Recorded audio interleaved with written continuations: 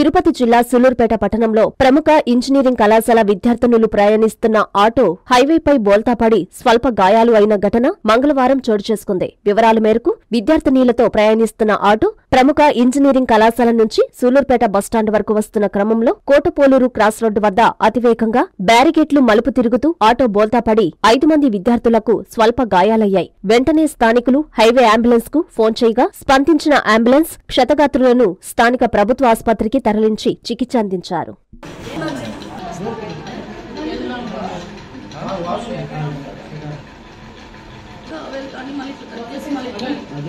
और cutting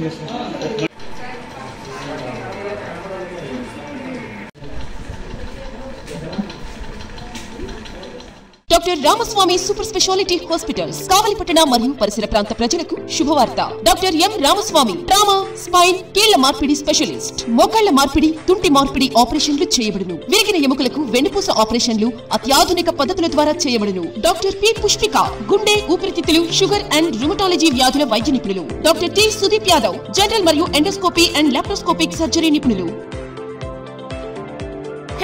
పేగు జారుట ఇరవై నాలుగు గంటల పేగు హైడ్రోసెల్ ఆపరేషన్లు చేయబడును. వెంటిలేటర్తో కూడిన అధునాతన intensive care unit ICU doctor YSR Aarogyasri పథకం ద్వారా అర్హులైన వారికి ఉచితంగా ఆపరేషన్లు చేయబడును. Doctor Ramaswamy super speciality hospitals Vishnulayam వీధి కావలి.